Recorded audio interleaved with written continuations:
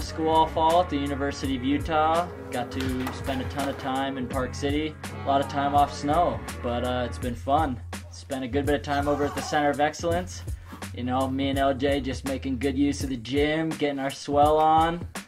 Tons of fun over there, though. They got a great, great facility and uh, just a lot of good opportunities to jump on some tramps and make use of what they got going on over there. Just stay fit and stay active in the off season, just working on tricks and stuff for the winter.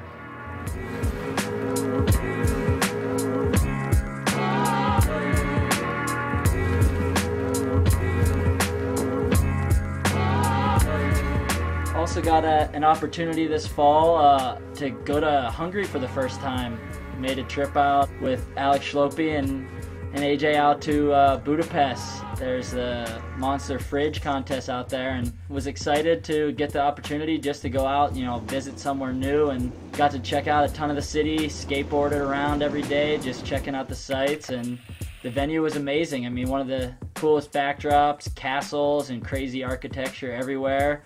Just an awesome place to visit and get to ski didn't do that well, but uh, had fun out there, and that's pretty much all that matters. It good times. Then uh, Park City opened up. Finally got a chance to ski.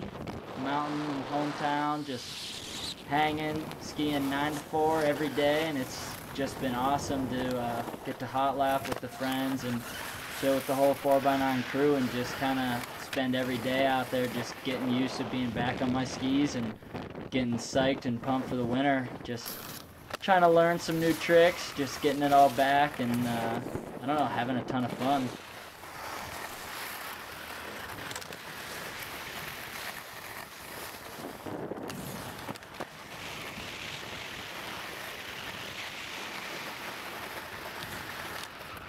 Just been uh, having a ton of fun shredding Park City early season. The park's been super good. Tons of fun rails and nice fun jump and just getting psyched for the contest this winter. For now, uh, check out uh, a fun little edit we've put together from some of the stuff I've been doing and see you guys again soon.